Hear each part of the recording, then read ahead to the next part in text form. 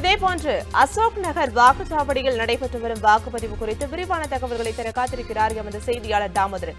வணக்கம் தாமோதரன். தற்போதைய நிலவரம் என்ன? விரிவாக சொல்லுங்க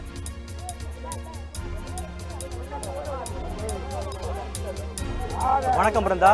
தமிழகத்தில் முப்பத்தி எட்டு மக்களவை தொகுதிகளுக்கான இந்த வாக்குப்பதிவு என்பது தற்போது நிறைவடைந்திருக்கிறது. இதில் முப்பத்தி ஏழு தொகுதிகளுக்கு மட்டுமே இந்த வாக்குப்பதிவு நிறைவடைந்திருக்கிறது. ஏனென்றால் மதுரையில் சித்திரை திருவிழா நடைபெற நடைபெற நடைபெறுவதால் அங்கு இரவு எட்டு மணி வரை வாக்குப்பதிவானது நீடிக்கப்பட்டிருக்கிறது தற்பொழுது வரை முப்பத்தி ஏழு மைய வாக்கு இந்த வாக்குப்பதிவு நிறுவனத்திருக்கிறது. மேலும் தற்போது நாம் இருக்கக்கூடிய இந்த சென்னை பழைய வண்ணாரப்பேட்டை தொகுதியில் கே- பார்த்தசாரதி என்கிற இடத்தில் தற்பொழுது இந்த வாக்குப்பதிவு மையத்தை இந்த இருக்கக்கூடிய பொதுமக்கள் முற்றுகை முற்றுகையிடுகிறார்கள். ஏனென்றால் தங்களுடைய வாக்காளர் பட் தங்களுடைய பெயர்கள் வாக்காளர் பட்டியலில் பட்டியலில் இல்லை என்ற ஒரு குற்றச்சாட்டை முன்வைத்து தற்பொழுது இந்த பொதுமக்கள் இங்கே போராட்டத்தில் ஈடுபட்டு வருகிறார்கள். ஏனென்றால் குறிப்பாக இன்று காலை முதலே இந்த வாக்குப்பதிவான தொடர்ச்சியாக நடைபெற்று வந்த சூழ்நிலையில் சென்னையில் கிட்டத்தட்ட மூவாயிரத்தி எழுநூற்றி ஐம்பத்தி நான்கு வாக்குச்சாவடி மையங்கள் அமைக்கப்பட்டிருக்கின்றன. குறிப்பாக இதில் நூற்றி ஐம்பத்தி ஒன்பது வாக்குச்சாவடி மையங்கள் பதற்றமான வாக்குச்சாவடியாகவும் அதில் அதிகபட்சமாக சென்னை பழைய இந்த வடசென்னை பகுதி இருப்பதாகவும் ஏற்கனவே தேர்தல் ஆணைய தரப்பில் தெரிவிக்கப்பட்டிருந்தது. இந்த வடசென்னை பகுதியில் மட்டும் கிட்டத்தட்ட மிகவும் பதற்றமான வாக்குச்சாவடி மையங்களில் துணை ராணுவ படையினரும் அதே போல ஆயுதம் ஏந்திய காவல்துறையினர் பாதுகாப்பு பணிகளாக மூன்றடுக்கு பாதுகாப்பு கொடுக்கப்பட்டிருந்தது. இந்த சூழலில் இந்த வாக்குப்பதிவு நிறைவடைந்திருக்கக்கூடிய சூழலில் தங்களுடைய பெயர் இந்த வாக்காளர் பட்டியலில் என்ற ஒரு குற்றச்சாட்டை முன்வைத்து மாலை நான்கு மணி முதல் இந்த பகுதியில் இங்கே கூடிய பொதுமக்கள் அஹ், இந்த போராட்டத்தில் ஈடுபட்டு வருகிறார்கள். தற்பொழுது அவர்களுடன் பேச்சுவார்த்தை என்பது எந்த ஒரு தேர்தல் அதிகாரம் நடத்தப்படாமல் காவல்துறையினுடைய உயர் அதிகாரிகள் மற்றும் துணை ராணுவ படை இந்த இந்த பகுதியில் அதிகமாக குவிக்கப்பட்டிருக்கிறார்கள். தற்பொழுது இந்த பகுதியை சேர்ந்த பொதுமக்கள் தற்போது இருக்கலாம். அவருடன் நேரடியாக பேசலாம். சார் உங்களுடைய பெயர் இந்த வாக்காளர் பட்டியல் இருந்ததா? அப்படி இல்லை என பார்க்கும்பொழுது தேர்தல் நீங்கள் தொடர்பு கொண்டீங்களா இல்லை என்னுடைய பேர் இருந்துச்சு. என்னுடைய சொந்தக்காரங்க பேர் இல்லை. அதுக்காக நான் வந்து இங்கே இருக்கக்கூடிய முக முகவரோட கேட்டேன். உங்களுடைய பூத் ஸ்லிப்பில் பேர் இல்லை அப்படின்னு சொல்லிட்டாங்க. யார்கிட்ட கேட்கணுன்னு ஏஆர்ஓட்ட அசிஸ்டன்ட் ரிட்டர்னிங் ஆஃபீஸர்கிட்ட பேசுங்கன்னாங்க. அவங்கள்ட்ட தொடர்பு கொள்ளும்போது அவங்க வரவே இல்லை. அப்போ இதே மாதிரி வந்து எனக்கு ஒரு ஆள் மட்டும் இல்லை இந்த ஒரு பாகத்தில் மட்டும் கிட்டத்தட்ட ஒரு தொள்ளாயிரம் ஓட்டில் முந்நூற்றம்பது ஓட்டுக்கு மேலே இல்லை. எல்லாமே வந்து இருக்கக்கூடியவங்க தான். எப்பவும் ஓட்டு போடக்கூடியவங்க அவங்களுடைய ஓட்டு கிடையாது. இறந்தவர்களுக்கெல்லாம் ஓட்டு இருக்குது உயிரோடு இருக்கிறவங்களுக்கு இல்லை. இதான் உண்மையான விஷயமா இந்த இந்த வாக்குச்சாவடியில் நடந்துக்கிட்டு இருக்கு. இதை பற்றி கேட்க போகும்போது காவல்துறை அதிகாரிகள் வந்து முதல்ல வந்து எப்பவும் போல் அவங்களுடைய சாந்தமான பேச்சுக்களாலையும் அதுக்கப்புறம் மிரட்டல் தோரணிகளையும் பேசினாங்க. அப்போ வந்து அதுக்கப்புறம் வந்து மக்களுடைய போராட்டத்தை த சமாளிக்க முடியாமல் ஏஆர்ஓ வர வச்சாங்க அவங்களே வர வச்சு யார் யாருக்கெல்லாம் இல்லையோ அப்போது சட்டத்தில் இருக்க ஒரு விதியின்படி அவங்களுக்கெல்லாம் வந்து சேலஞ்ச் ஓட்டு கொடுக்குறேன்னு சொல்லி சொல்லி சாயங்காலம் நாலு மணிக்கு வாங்க. உங்களுக்கெல்லாம் நாங்கள் தரோன்னு அத்தனை பேருடைய லிஸ்ட்டையும் எழுதிட்டு போயிட்டாங்க. எழுதிட்டு போயிட்டு நாலு நாலரை மணி ஆகியும் வரல. மறுபடியும் இதே மாதிரி மக்கள் எல்லோரும் இங்கே ஒன்று திரண்டு போராடும் போது ஏஆர்ஓ வந்தார். வந்த என்ன சொல்லிட்டாருன்னா அவர் நாங்கள் உங்களுக்கு ஓட்டு போடுற உரிமை இப்போ கொடுக்க முடியாது. நாங்கள் வந்து தேர்தல் அதிகாரி தலைமை தேர்தல் ஆணையர் இவங்கெல்லாம் முடிவு பண்ணி அதுக்கப்புறம் தான் தர முடியும். அது ஒரு மாத காலமோ அல்லது அதுக்கு மேல்பட்டும் ஆகலாம் அப்படின்னு சொன்னாங்க. இதுக்கப்புறம் மறுபடியும் மக்கள்லாம் கொந்தளிச்ச உடனே என்ன பண்ணாங்க? காவல்துறையை சேர்ந்த சில நல்ல அதிகாரிகளும் தேர்தல் அந்த ஏஆர்ஓவும் சேர்ந்து மறுபடியும் போயிட்டு ஆர்ஓவை சந்தித்தாங்க ஆர்ஓவை சந்திக்க போனவங்க வந்து திரும்பி வரலை. திரும்பி வராமல் அங்கேருந்து அவங்க ஃபோனில் சொன்ன ஒரு வார்த்தை என்னன்னு சொன்னால் இப்போதைக்கு எந்த முடிவும் எடுக்க முடியாது. இது கலெக்டர்லாம் சேர்ந்து தான் எடுக்க வேண்டிய முடிவு அப்படின்னாங்க. இதுக்கிடையில் மக்கள்லாம் வந்து கொஞ்சம் ஆதங்கப்பட்டு அவங்களுடைய வாக்கு உரிமை அதாவது வந்து ஜனநாயக நாட்டில் மிடில் கிளாஸுக்கும் ஏழை மக்களுக்கும் கிடைக்கிற ஒரே ஒரு உரிமை என்னென்னா அஞ்சு வருஷத்துக்கு ஒருக்க போடக்கூடிய ஓட்டு தான். அந்த ஓட்டையே போட முடியலன்ற ஆதங்கத்தில் தான். இங்கே இருக்கக்கூடிய மக்கள்லாம் தான் ஓட்டை விற்காம தன்னுடைய சுய சிந்தனையோடு போடணும்னு வந்த மக்கள் தான். ஆதங்கத்தில் இது பண்ணாங்க. அப்போ என்ன பண்ணுறாங்கன்னா காவல்துறை வந்து தன்னுடைய அந்த ஸ்டைல் அவங்க பாணியில் வந்து என்ன பண்ணுறாங்க முதல்ல சொல்கிறாங்க அப்புறம் வந்து லட்டியை மட்டும் கொண்டு வராங்க அப்புறம் ஜாக்கெட்டை கொண்டு வராங்க அப்புறம் ஹெல்மெட்டை கொண்டு வராங்க கண்ணாடியை கொண்டு வந்து இது என்ன பண்ணுறாங்கன்னா மக்களை வந்து மிரட்டுறாங்க. பயங்காட்டி பேசுகிறாங்க இந்த மாதிரியான ஒரு சூழ்நிலை தான் நடந்துச்சு.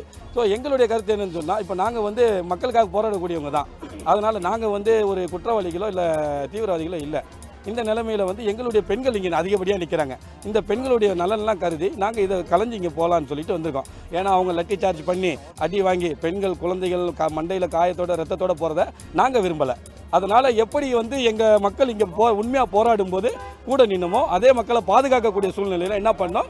யார் இங்கே நிற்காதீங்கம்மா கலைஞ்சு போயிடுவோம் வாங்கன்னு சொல்லி கூட்டிட்டு போகிறோம் நல்லபடியாக போகிறோம் இதில் வந்து என்ன தெரியுதுன்னா ஜனநாயக நாட்டில் வந்து என்றைக்குமே ஆதிக்க சக்திகளுக்கு மட்டுமே வந்து எல்லா உரிமைகளும் கிடைக்கும். நடுத்தர மக்களுக்கோ ஏழை மக்களுக்கோ சாதாரண அடித்தட்டு மக்களுக்கோ எந்த உரிமைகளும் கிடைக்காது என்பதற்கு ஜனநாயக படுகொலையாக நடக்கக்கூடிய இந்த சம்பவம் இந்த வடசென்னையின் சமூக சேவை நடுநிலைப் பள்ளியில் இருக்கிற வாக்குச்சாவடியில் மட்டும் இல்லை இருக்கக்கூடிய அனைத்து தமிழ்நாட்டில் இருக்கக்கூடிய அத்தனை வாக்குச்சாவடிகளிலும் இதே நிலை நீடிச்சுக்கிட்டு இருக்கு. இன்னைக்கு இன்னைக்கு சூழ்நிலைக்கு நாங்கள் செய்திகளில் பார்க்குறோம் உங்களை மாதிரி ஊடகங்கள் மூலிமா செய்திகள் தான் பார்க்குறோம் ஏன்னா வாட்ஸ்அப்லேயோ ஃபேஸ்புக்லேயோ பார்த்து தான் சொல்கிறோம் இது நாங்களாம் வந்து திருச்சி சொல்லலை. நடந்துக்கிட்டு இருக்கு. இதுதான் இன்றைக்கி மக்களுடைய நிலைமை. இது வந்து இப்படியே நீடிக்கும். இப்போ அடுத்த தடவைலாம் எலெக்ஷன் வச்சு தேர்தல் நடக்குமா என்பதே மக்களுக்கு வந்து ஒரு சந்தேகமான ஒரு இதாக தான் இருக்குது பார்த்துங்க இதுதான் நிலமை. அதாவது தங்களுடைய வாக்காளர் ப- பெயர்கள் வாக்காளர் பட்டியலில் என்ப- இல்லை என்பது ஒரு குற்றச்சாட்டாக இருந்தாலும் கூட வாக்காளர் அடையாள அட்டை எங்க அதாவது எங்களுடைய வாக்குரிமை பறிபோகிறது எங்களுடைய ஓட்டுரிமை பறிபோகிறது. அதனால் எங்களுக்கு வாக்காளர் அடையாள அட்டை தேவை இல்லை என்ற ஒரு ஒரு கோரிக்கையை முன்வைத்தார்கள். ஆனால் அந்த வாக்கள் அடையாள ஒட்டுமொத்தமாக எரிப்பது என்ற கோரிக்கையும் அவர்கள் தேர்தல் அதிகாரி வைத்திருந்தார்கள். ஆனால் தேர்தல் அதிகாரி தங்களுக்கு அதற்குண்ட அதற்குண்ட முறையான விளக்கத்தை அதற்கான முறையான விளக்கத்தை தாங்கள் அளிக்கும் வரை காத்திருக்கும்படி தேர்தல் கேட்டுக்கொண்ட அடிப்படையில் தற்பொழுது இந்த போராட்டமானது கைவிடப்படுவதாக தெரிவித்திருக்கிறார்கள். ஆனால் இந்த பகுதியை பொறுத்தவரை இங்கே இருக்கக்கூடிய வாக்கு வாக்கு இயந்திரங்களை இங்கிருந்து எடுத்து செல்வதற்கு ஏற்பாடு செய்யப்பட்டிருக்கிறது. அதே போல இங்கிருந்து அந்த வாக்குப்பதிவு இயந்திரங்களை வெளியே கொண்டு செல்வதற்கு முன்னதாக பொதுமக்கள் யாரும் ஆர்ப்பாட்டத்தில் ஈடுபட்டால் அவர்கள் உடனடியாக கலந்து கலந்து செல்வதற்கும் அவர்களுக்கு ஏற்கனவே கூறப்பட்டிருக்கிறது மேலும் அந்த இயந்திரங்களை இங்கிருந்து எடுத்து செல்வதற்காக மூன்றடுக்கு போலீஸ் பாதுகாப்பு போடப்படுகிறது. ஒன்று துணை ராணுவ படையினரும் அதே போல அதிகப்படியாக குவிக்கப்பட்டிருக்கிறார்கள். மற்றொன்றாக காவல்துறை ஆயுதம் ஏந்திய காவல்துறை இந்த பகுதியில் அதிகப்படியாக குவிக்கப்பட்டிருக்கிறார்கள் பிருந்தா தாமோதரன் அங்கு உள்ள வாக்களிக்காதவர்களை அதிகாரிகள் சென்று பார்த்தார்களா? அவர்கள் வே வாக்களிப்பதற்கு மாற்று ஏற்பாடுகள் செய்யப்பட்டதா? இல்லை அவர்கள் பெயர் பட்டியல் வேறு ஏதேனும் இடத்தில் பதிவு செய்யப்பட்டிருக்கிறதா? அது குறித்த தகவல்கள் சொல்லுங்க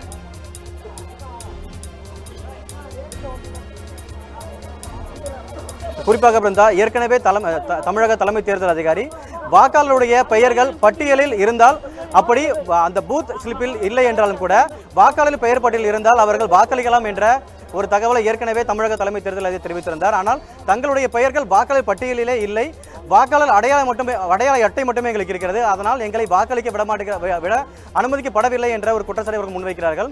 மேலும் இன்று காலை அது குறித்து ஏற்கனவே இந்த பகுதி இந்த பகுதியில் இருக்கக்கூடிய தேர்தல் அதிகாரியிடம் விசாரித்த பொழுது அதற்கான நடவடிக்கை எடுக்கப்படும் உங்களுடைய பெயர் பட்டியல் இருக்கிறதா என்ற மறு பரிசோதனை செய்யப்படும் என்ற அவர்கள் தேர்தல் தரப்பில் தகவல் தெரிவிக்கப்பட்டிருக்கிறது. அதன் அடிப்படையில் இங்கிருக்கக்கூடிய அந்த வாக்காளர்கள் காத்திரு காத்திருந்தார்கள். ஆனால் மாலை நான்கு மணி வரை எந்த ஒரு தகவலும் த- தேர்தல் அதிகாரி தரப்பிலிருந்து வரப்படாத பட்சத்தில் தான் இங்கிருக்கக்கூடிய வாக்குச்சாவடியை இவர்கள் முற்றுகையிட்டிருக்கிறார்கள் அதன் அடிப்படையில் இங்கே இந்த பகுதியை பொறுத்தவரை அதிகப்படியான காவல்துறையினரும் பாதுகாப்பிற்காக இந்த பகுதியில் குவிக்கப்பட்டிருக்கிறார்கள் ஆனால் தங்களுடைய அது தேர்தல் தரப்பிலிருந்து எந்த ஒரு தகவலும் தற்போது வராத காரணத்தினால் முற்றுகை போராட்டத்தில் ஈடுபட்டு வந்த நாங்கள் இங்கே இந்த போராட்டத்தில் ஈடுபட்டவர்கள் மீது போலீசார்கள் அடுத்த கட்ட நடவடிக்கையாக தடியடியோ அல்லது வேறு ஏதோ ஒரு நடவடிக்கை எடுக்கும் எடுக்கப்படும் முன்பதாக முன்பதாகவே அதிகப்படியான பெண்களும் இந்த பகுதியில் இந்த போராட்டத்தில் ஈடுபட காரணத்தினால் நாங்கள் கலந்து செல்கிறோம் என்ற ஒரு கோரிக்கையும் அவர்கள் பொதுமக்கள் தரப்பில் வைக்கப்பட்டிருக்கிறது. ஆனால் தேர்தல் அதிகார தரப்பிலிருந்து தங்களுக்கு இந்த மறு வாக்களிப்போ அல்லது மறு பரிசோதனை செய்யப்படும் என்ற எந்த ஒரு தகவலும் அவர்களுக்கு கொடுக்கப்படவில்லை என்ற ஒரு தகவலை பொதுமக்கள் தரப்பிலிருந்து தெரிவித்து காக்கப்பட்டார்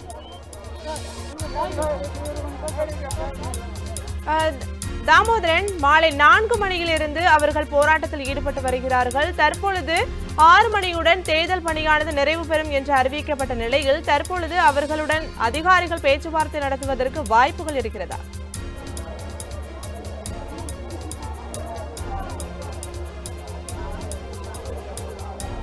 குறிப்பாக இங்கே இந்த பகுதியை பொறுத்தவரை தேர்தல் அதிகாரி தரப்பிலிருந்து எந்த ஒரு தகவலும் தற்போது வரவில்லை. ஆனால் அந்த தேர்தல் நடத்தும் அதிகாரிகளிடம் பொதுமக்கள் இன்று காலை ஒரு கு- ஒரு குற்றச்சாட்டை வைத்திருக்கிறார்கள்.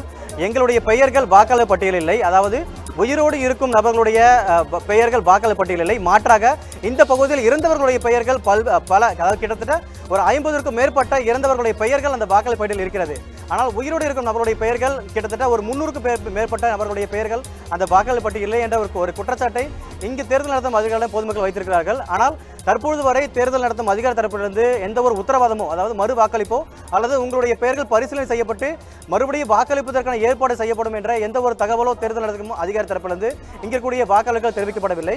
கிட்டத்தட்ட இந்த பகுதியை பொறுத்தவரை ஒரு ஐநூறுக்கும் மேற்பட்ட வாக்காளர்கள் தங்களுடைய பெயர்கள் இந்த வாக்காளர் பட்டியல் இல்லை என்ற ஒரு குற்றச்சாட்டு முன்வைத்திருக்கிறார்கள்.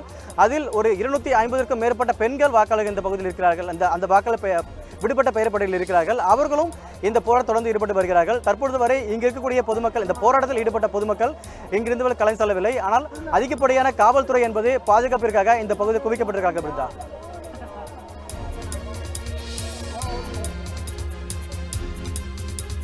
களத்திலிருந்து நேரடியாக பல்வேறு தகவல்களை பகிர்ந்து கொண்டமைக்கு நன்றி தாமோதரன். தொடர்ந்து ஒரு சிறிய இடைவேளை. உண்மை செய்திகளை உங்கள் கண்முன் கொண்டு வரும் காவிரி நியூஸின் யூடியூப் சேனலை சப்ஸ்கிரைப் செய்யுங்கள். நொடிக்கு நொடி நாட்டு நடப்புகளை தெரிந்து கொள்ள Kaveri news dot TV Facebook Instagram Twitter போன்ற சமூக வலைதள பக்கங்களோடு எப்போதும் இணைந்திருங்கள்.